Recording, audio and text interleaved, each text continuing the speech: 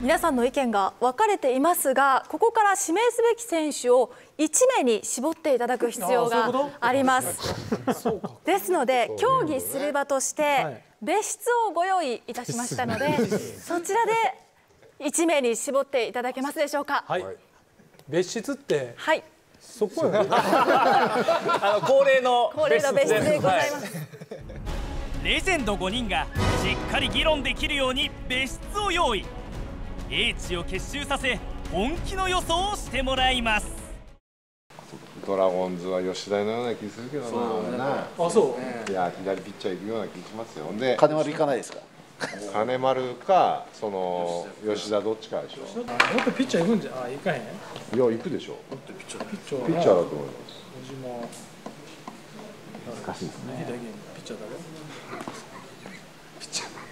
いや金丸行金くか丸行きそうな気するんそうですすねオリオリックスはないもんね金丸。あるやろ？だって地元やであそっか。オリックスと金丸なんです逆にオリックスはそうかオリックスすげえやん絶対俺オリックス絶対金丸や金丸じゃないですか。うん俺も金丸や広島は宗山だと。あ俺も胸山まあまずね。阪神だったら絶対来るでしまあそれやな。金丸でしょうか？絶対金丸だと。え金金丸？はい。金丸今朝丸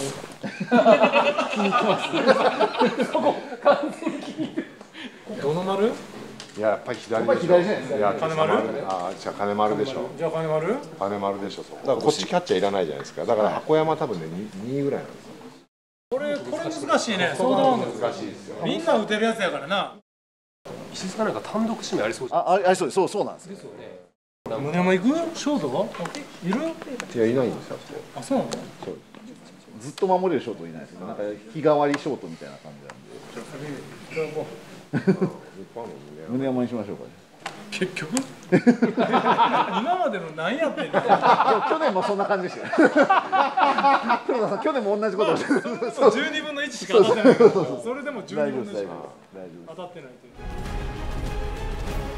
日本のプロ野球を代表する5人が持つ知識と経験をぶつけ合い導き出した答えとは？